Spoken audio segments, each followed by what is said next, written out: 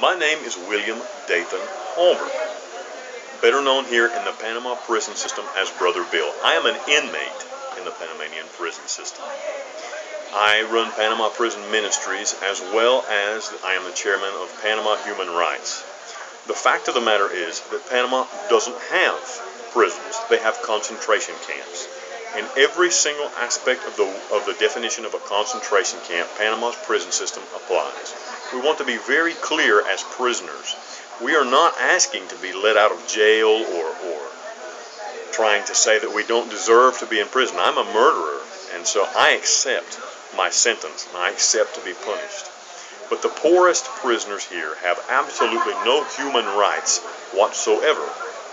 It's unacceptable that in the Western Hemisphere of the planet Earth exists in the 21st century concentration camps. And that's what we have. And if you will inspect PanamaHumanRights.com, you will see that I'm telling you the truth, that we live in concentration camps.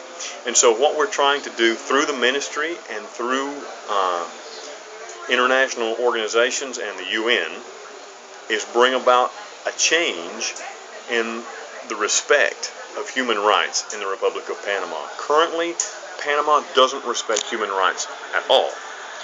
They murder prisoners, they introduce drugs into the jails. We invite you to look at the videos and the photographic evidence that we share with you here on this site.